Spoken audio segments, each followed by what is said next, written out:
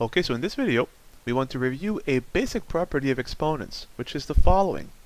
So if we have x to the m times x to the n, the result can be combined under a single base as x to the m plus n.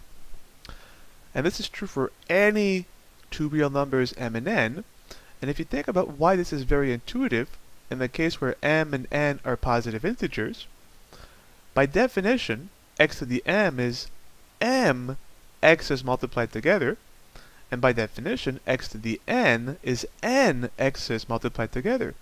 So what we have here is m x's times n x's, so we have a total of m plus n x's. And to make this more concrete, let's look at a special example, where m is 2 and n is 3. So if you have x squared times x cubed well, let's expand both exponents. x squared is x times x. x cubed is x times x times x. And quite obviously we have 1, 2, 3, 4, 5 x's, which is by definition x to the 5. And now you ask, well, how do we obtain 5 from 2 and 3?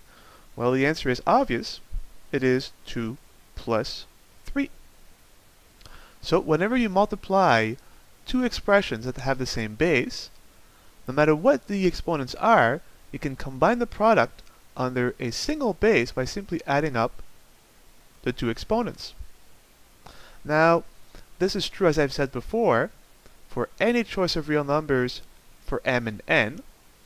If you forget this property, you can easily rederive it or at least verify it with a simple choice of exponents, 2 and 3. And let's do one more example where we take fractional exponents. So if you had, say, the square root of x times the cube root of x. Well, the first step, and again, assuming we want to regroup as a single power of x, the first step is to replace each root by an exponent. So the square root is a, an exponent of 1 half. The cube root is an exponent of 1 third.